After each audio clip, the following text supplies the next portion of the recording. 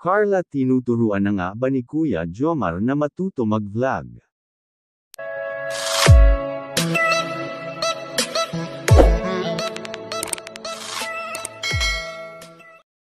Ang kwentong pag-uusapan natin ngayong araw ay patungkol sa nakaraan upload ni Kuya Jomar na kung saan ay makikita po natin na mismo si Carla ang nagbibideo kay Kuya Jomar habang ito ang nagmamaneho ng kanilang bagong sasakyan.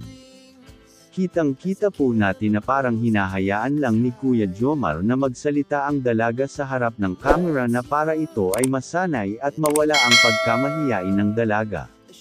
Nang sa ganun balang araw kung gusto nito magsimula na mag-vlog ay hindi na ito mahihirapan mag-adjust.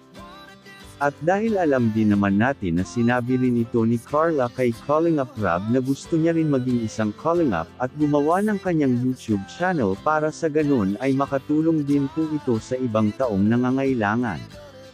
Dahil alam naman natin na malaki ang potential ni Carla na sumikat sa pagbablog kaya mas mainam na habang maaga pa ay maasa na siya na magsalita sa harap ng camera para sa ganun ay maboost ang kanyang confidence sa sarili. At mangyayari lang po yan sa tulong ni na Kuya Jomar. Calling Up Rob at buong team Calling Up na andyan para sumuporta at gagabay sa lahat ng gagawin ng dalaga. O mga calling up ano sa tingin nyo tama lang ba na magsimula na si Carla sa pagbablog?